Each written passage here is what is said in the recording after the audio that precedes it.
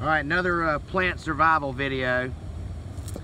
This is elderberry.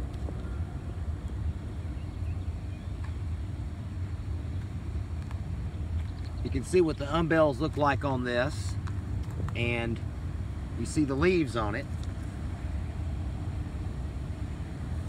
There's uh, no berries on it right now, but this is what Sambuca is made from, is elderberry.